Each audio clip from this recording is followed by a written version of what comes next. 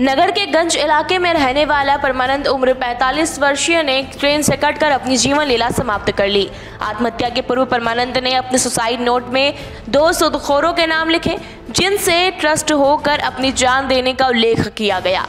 परिजनों को सूचना मिलते ही अस्पताल में भारी भीड़ जमा हो गई और सुदखोरों के खिलाफ कार्रवाई की मांग करने लगे। पुलिस ने इस मामले में मर्ग कायम कर जाँच शुरू कर दी है। उनको उभर कार्रवाई नहीं जब तक हम लाश को नहीं उठाएँगे जब तक उनको बिल्कुल जहाँ से एफ़ आई आर दर्ज होके नहीं हटेगी जब तक हमें बताएँगे, हम उन्हें।